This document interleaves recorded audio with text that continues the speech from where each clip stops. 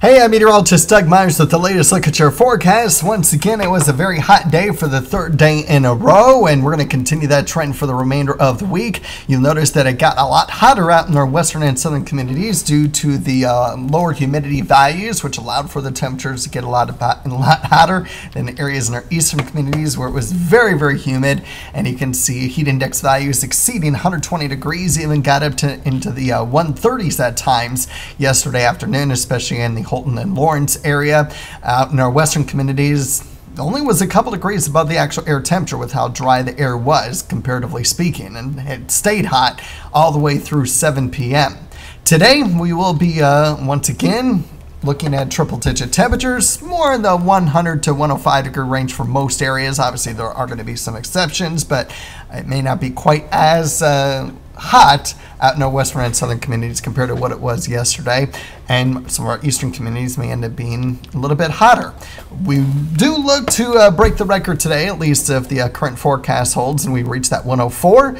I think we'll uh, have a pretty good chance of getting close to the record tomorrow as well, although it's going to depend on how much humidity we have tomorrow, so that'll be something to watch out for. I do think that the overall trend will be a little bit less humidity by Thursday, and that will result in a little bit hotter a day. 106, but still short of the 110 record. And then uh, we do start to usher in some cooler temperatures on Friday. Still remaining hot though, before we really start to cool down for the upcoming weekend. So, as I continue to uh, talk about, the higher the humidity, the cooler the temperature will be, but the higher the heat index value will be. So for this morning, we're still looking at a very, very, very humid air mass, so dew points close to 80 for many spots. And just like yesterday, we do start to usher in some drier air out in our western communities but it doesn't look to be quite as humid in our eastern communities as it was, it was yesterday. It was closer to 80. Now we're starting to get a little bit more mid to upper 70s. It's an improvement. It's still going to be very hot. It's still going to be very humid. And you can see a little bit drier air out toward the west, especially in the Concordia area with that dew point of 59. How does that uh, translate to heat index values? Well, it could be uh, in the 115 maybe a 120 today, but I don't think we'll be any higher than that if the dew point temperatures come down as they are trending on our computer models. If they don't, we could have a very similar day to what we had yesterday for our eastern communities. So just prepare for that and uh, hope for the best that we will be cooler.